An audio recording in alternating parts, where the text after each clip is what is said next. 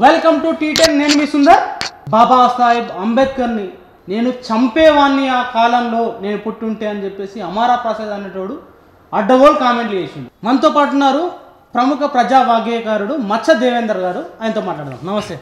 మచ్చ దేవేందర్ ఇట్లా ఒక ఉన్మాది ఎందుకంటే బాబాసాహెబ్ అంబేద్కర్ని చంపేసేవాణ్ణి అనే ఉన్మాద మాటలు మాట్లాడడానికి ఆ అమారా ప్రసాద్ అనేటువంటి ఎందుకు ఇంత ధైర్యం వచ్చింది ఆయన వెనుక ఎవరున్నారు అంటే ఏం చెప్తారు? వాని వెనుక ఈ దేశాన్ని మళ్ళీ వెయ్యి సంవత్సరాల వెనక్కకి నెట్టాలనే ఆలోచన చేస్తున్న సనాతన ధర్మం కాపాడే శక్తులు ఉన్నాయి వాడొక ఎదవ వాడొక దుర్మార్గుడు ఒక ఒక లంగ ఒక బట్టేబాజ్ ఒక తాగుబోతు ఒక ఆవులాగాడు. వాన్ని ఎన్ని అన్నా తక్కువనే.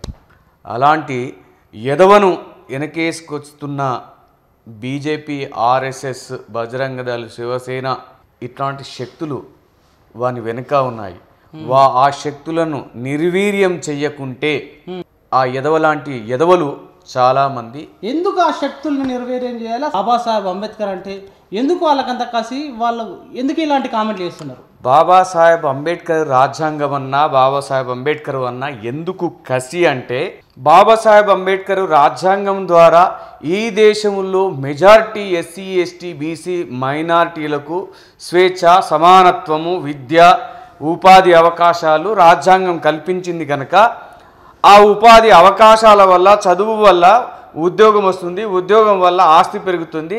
ఆ ఆస్తి పెరగడం వల్ల వాడి సనాతన ధర్మాన్ని ఎవడు పాటిస్తలేడు అనే ఉద్దేశంతో బాబాసాహెబ్ అంబేద్కర్ రాసిన భారత రాజ్యాంగం మీద విరుచుకుపడుతున్నారు. సనాతన అన్నారు కాబట్టి ప్రాచీన రాజ్యాంగం మనస్మృతి పేరుతోటి వాళ్ళు మళ్ళీ మనస్మృతి పుస్తకాన్ని జనంలోకి తీసుకొచ్చే ప్రయత్నం చేస్తారు దాన్ని ఎట్లా చూడాలి? నా ఉద్దేశం అయితే ఇన్ని రోజులు వేల సంవత్సరాలుగా వేదం వింటే చెవిలో సీసం మూసిండ్రు. వేదం చదివితే నాలుకలను తెగగూసిండ్రు. ఎక్కడ అంటే అగ్రవర్ణ కులాలతో సమానంగా కూర్చుంటే పిర్రలను కోసేసిండ్రు. ఇలాంటి ఆ ధర్మము ఈ సమాజానికి ఆ ఏదైతే ఇప్పుడు మనుస్మృతి అనే గ్రంథములో ఏముంది అనే విషయము తెలియకుండా ఆ రోజు చదవకుండా చేసి తెలువ తెలుసుకోకుండా చేసిండ్రు. ఈరోజు మా మహానీయులు బుద్ధుడు పూలే అంబేద్కర్ సంతుగురు రవిదాసు ఇలా మా మహానీయుల త్యాగాల వల్ల మాకు చదువు వచ్చింది.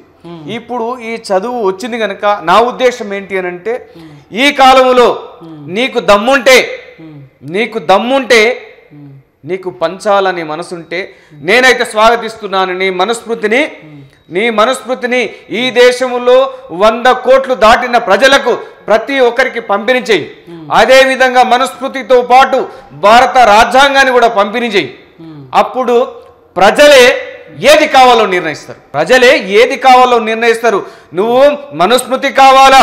మనుస్మృతిలో ఏముంది అనేది చదువుతారు. భారత రాజ్యాంగం ద్వారా ఏమి ఉంది అని చదువుతారు. అప్పుడు తెలుస్తుంది నీ సనాతన నీ ధర్మము నీ ఆచారము నీ మత గ్రంథాల విలువలు. బాబాసాహెబ్ అంబేద్కర్ భారత రాజ్యాంగము యొక్క విలువలు తెలుసుకుంటారు. నువ్వే ఆ పుస్తకము మనస్మృతి అనే పుస్తకము రెండు వేలు పెట్టినవు. అదే ఫ్రీగా పంచు. నీకు దమ్ముంటే ఫ్రీగా పంచు. అప్పుడు తెలుస్తుంది భారత రాజ్యాంగం విలువ నీ మనస్మృతి విలువ. మతోన్మాద పాసిస్ట్ శక్తులను వెనుక కొట్టాలంటే భారతదేశ ప్రజలు కానీ సాధారణ అంబేద్కర్ అంబేద్కరైట్లు కానీ ప్రజాస్వామిక వాదులు కానీ ఏం చేస్తే వీళ్ళని వెనుక కొట్టడానికి వీళ్ళ కుట్రలను తిప్పికొట్టే అవకాశం ఉంటుంది. ఇన్నాళ్ళుగా ఈ దేశంలో ఉన్న వెనకబడిన జాతులు అవకాశాల కోసం అగ్రకులాల దగ్గరికి పోయి చేతులు కట్టుకొని నిల్చున్నారు. ఈరోజు బాబాసాహెబ్ అంబేద్కర్ రాజ్యాంగం వల్ల అవకాశాలను అందుకుంటూ అత్యున్నతమైన స్థానానికి పోతున్నారు కనుక. అదే విధంగా ఉన్నట్లయితే ఈ సనాతన ధర్మము అనేది చతికిల చతికిల పడిపోతుంది అనే ఉద్దేశంతో చదువుకు దూరం చేయడం కోసం మనుస్మృతిని తీసుకొస్తే ఆ మనుస్మృతి ప్రకారంగానే ఈ దేశంలో మెజార్టీ కులాలు మళ్ళీ బానిసత్వంలోకి పోతే కనుక అలా ఉంచడం కోసమే ఈ మనుస్మృతిని మళ్ళీ రాజ్యాంగంగా వాళ్ళు పెట్టడం కోసము ఆలోచిస్తున్నారు. కనుక ఈ మనుస్మృతిని సమూలంగా ధ్వంసం చేయాలి అంటే సనాతన ధర్మాన్ని సమూలంగా ధ్వంసం చే చేస్తున్న భారత రాజ్యాంగము మనము చదువుకున్నట్లయితే భారత రాజ్యాంగం ద్వారా మనకు అన్ని హక్కులు అవకాశాలు వస్తున్నాయి కనుక ఈ అవకాశాలను అధిగమి ఆ- ఈ అవకాశాలను దూరం చేయడం కోసం మనుస్మృతిని తీసుకొచ్చిండ్రు. ఈ మనుస్మృతిని దూరం చేయాలంటే ఈ సనాతన ధర్మాన్ని సమూలంగా కూల్చేయాలంటే భారత రాజ్యాంగము ద్వారానే అది సాధ్యం కనుక నా నేనేమంటున్నానంటే భారత రాజ్యాంగాన్ని ప్రతి పౌరుడికి కూర్చుండబెట్టి మత గ్రంథాలు ఏ విధంగా అయితే బోధిస్తాయో చర్చికి పోతే బైబిల్ ఎలా బోధిస్తారో మసీదుకి పోతే కురాన్ని ఎలా బోధిస్తారో భారత రాజ్యాంగాన్ని అలా బోధించాల్సిన అవసరం ఉంది. ఆ భారత రాజ్యాంగాన్ని పూర్తిగా చదువుకున్న వ్యక్తి ఈ శక్తులను ఎట్టి పరిస్థితులు ఎదగకుండా చేస్తాడు చేయాల్సిన అవసరం కూడా ఉంది. ఈ సంఘటన మీద మీరేమైనా రాసిర్రా మీరు సాహిత్యకారులుగా ఈరోజు ఆ ఎదవగాడు ఆ పందిగాడు ఆ ఫాల్తుగాడు బాబాసాహెబ్ అంబేద్కర్ ఎక్కడ కూడా నేను గ- గతంలో కూడా మొన్న బైరి నరేష్ రెంజల రాజేష్ విషయంలో ఒక మాట అన్నాను. మీ సనాతన మత గ్రంథాల సారాంశాన్ని మార్చేయండి. లేదా కాల్ చేయండి. మీరు కాల్ చేయకుండా ఉన్నంత వరకు ఇలా ప్రశ్న ఉద్భవిస్తూనే ఉంటుంది. ప్రతోడు ప్రశ్నిస్తూనే ఉంటాడు. ఆ రోజు సంత రవిదాసుని ధర్మాన్ని అది చేసిండు బుద్ధుడు నీ ధర్మాన్ని కూల్చేసిండు. ఈరోజు మహాత్మా జ్యోతిరావు పూలే గులంగిరి ద్వారా నీ సనాతన ధర్మాన్ని నీ వేదాలను నీ శాస్త్రాల ను బట్టబయలు చేసిండు. బాబాసాహెబ్ అంబేద్కరు మీది ఏదైతే వ్యాసుడు రాసినది వాల్మీకి రాసిన ఉన్న పుస్తకాల ఆ పుస్తకాలలో ఉన్న సారాంశాన్ని ఇది ఏంటి అని ప్రశ్నించారు నేను ప్రతి సందర్భంలో చెప్పినాను ఏది నిజం ద్వారా మీ చరిత్రనంతా ఇది తప్పు అని చెప్పినాను. ఏది నిజం అనే పాట ద్వారా అసలు మీ రామాయణంలో ఇలా అయితే అలా.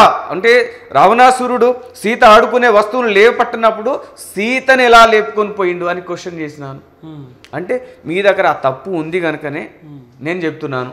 ఆ తప్పునే బాబాసాహెబ్ అంబేద్కర్ రాముడి కృష్ణుడి రహస్యాలు అనే పుస్తకంలో రాసిండు. అరే ఎదవా నువ్వు ఆర్ఎస్ఎస్లో పనిచేసినావు బీజేపీ శక్తులతోటి ఉంటున్నావు కనుక నీ ఈ సనాతన ధర్మంలో తప్పు ఉందని చెప్పరా నీకు దమ్ముంటే? లఫుట్ నా కొడక? మా బాబాసాహెబ్ అంబేద్కర్ను కాలుస్తావు? బే! ఒళ్ళు జాగ్రత్త. ఏం రాయలేదా సల సల సల సల సల నెత్తురు మరుగుతున్నది. సల సల సల సల నెత్తురు మరుగుతున్నది. సనాతన ధర్మాన్ని కూల్చుదాం పా అని అంటుంది సావు రేవు ఇప్పుడే తెలుసుకోవాలి అని చెప్పి. నిజానికి నేనేమంటున్నానంటే ఇన్ని రోజులు బాబాసాహెబ్ విగ్రహాన్ని విగ్రహంని కూలిస్తే మన జాతులు ముందుకు రాలేదు. కానీ ఈరోజు బాబాసాహెబ్ అంబేద్కర్ ఆలోచనను ధ్వంసం చేసే కుట్ర ఆర్ఎస్ఎస్ బీజేపీ శక్తులు చేస్తున్నాయి. మిత్రులారా ఇప్పుడన్నా రాకుంటే రేపు భవిష్యత్తు అంతా చీకటవుతుంది.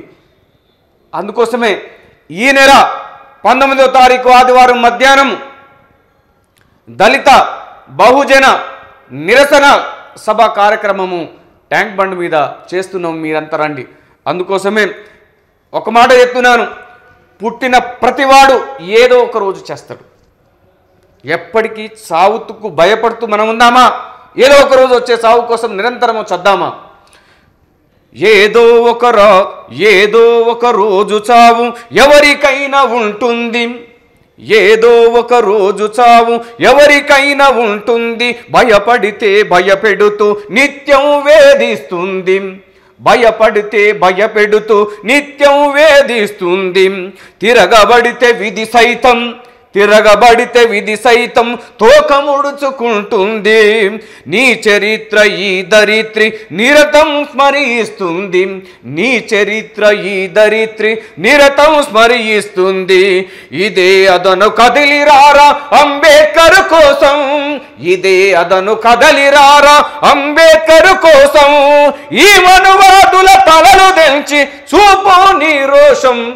ఈ మనువాదుల తలలు వంచ ఇదే మంచి అవకాశం. ఏదో ఒక రోజు చావు ఎవరికైనా వస్తుంది. ఏదో ఒక రోజు చావు ఎవరికైనా వస్తుంది. భయపడితే భయపెడుతూ నిత్యం వేధిస్తుంది. భయపడితే భయపెడుతూ నిత్యం వేధిస్తుంది. నీకైనా నాకైనా ఈ నేల మీద పుట్టిన ప్రతి జీవికి ఏదో ఒక రోజు మరణం వస్తుంది. నువ్వు బ్రతికున్నన్ని రోజులు నీ స్వేచ్ఛను కాలరాస్తున్న శక్తులకు నువ్వు భయపడితే నీకు స్వేచ్ఛ లేకుండా చేస్తారు. కనుక నీ స్వేచ్ఛను హరించే నీ స్వేచ్ఛను సమూలంగా ధ్వంసం చేసే కుట్ర ఆర్ఎస్ఎస్ బీజేపీ శక్తులు చేస్తున్నాయి గనక ఆ శక్తుల కుట్రలను నిర్వీర్యం చేయడం కోసం. రా నీకు దమ్ముంటే సలసల సలసల మెత్తురు మరుగుతలేదా నీకు? ఎవడైనా నీ చిన్న జాగ మీదనో నీ తల్లి మీద తండ్రి మీద అక్క మీద చెల్ల మీద అంటేనే నీకు రోషం గుర్చుకొస్తుందా నీ జీవితం నీ తల్లి గర్భంలో నువ్వు పుట్టక ముందే నీ భవిష్యత్తు ఎలా ఉండాలని రాసిన బాబాసాహెబ్ అంబేద్కర్ను చంపుతానని చెప్పి ఆ యదవ నా కొడుకు అంటున్నాడు. రోషం లేదా? పౌరుషం లేదా? నీలో నెత్తురు మరగట్లేదా? నాకైతే నెత్తురు సరసల సరసలా అంటుంది. రా ఓ అంబేద్కర్ వాది ఓ పూలేవాది ఓ ఓ దళితుడా ఓ బీసీ ఓ అగ్రకులస్తుడా అగ్రకులములో ఉన్న మహిళల్లారా రేపొద్దున మీకు స్వేచ్ఛకు మీకు చదువు లేకుండా మీకు ఉద్యోగం రాకుండా ఈరోజు ఉద్యోగం చేస్తున్నావంటే వ్యాపారం చేస్తున్నావంటే రాజకీయం చేస్తున్నావంటే నువ్వు సర్పంచ్ ఎంపీటీసీ ఎంపీ ఎంపీపీ ఎమ్మెల్యేవు మినిస్టరు ముఖ్యమంత్రి ప్రధానమంత్రి అవుతున్నావనంటే భారత రాజ్యాంగం బాబాసాహెబ్ అంబేద్కర్ రాసింది. బాబాసాహెబ్ అంబేద్కర్ ఆలోచనను బాబాసాహెబ్ అంబేద్కర్ రాసిన రాజ్యాంగాన్ని వాళ్ళు మార్చాలని చూస్తున్నారు. లే లేసి కదలిరా ఇప్పుడే? థ్యాంక్ యూ మచ్చదేవేందర్ గారు టీటెన్కి వచ్చి మీ ఈ యొక్క పాసిస్టు భావజాలాన్ని బాబాసాహెబ్ అంబేద్కర్ను చంపుతా అన్నటువంటి ఒక క్రూరమైన ఆ వాదాన్ని అంటే ఆ ఏదైతే మనువాదాన్ని మీ గొంతుకతో నిత్యం ప్రశ్నిస్తూనే ఉన్నారు. ఇట్నే ప్రశ్నిస్తూనే ఉండండి. చూసిర్రా ప్రజలారా? మనువాదులు భారత రాజ్యాంగానికి ప్రజాస్వామిక హక్కుల కోసం భయపడుతున్నారు అవి ఇచ్చిన బాబాసాహెబ్ మీద దాడి చేస్తున్నారు. తప్పకుండా వాళ్ళని తిప్పి కొట్టాల్సిన అవసరం ఉందని చెప్తున్నారు మన మచ్చ దేవేందర్ గారు. ఇది వాళ్ళ స్పెషల్ ఇంటర్వ్యూ. చూస్తూనే ఉండండి టీటెన్ ఈ వీడియో మీద తప్పకుండా మీ కామెంట్ రాయండి.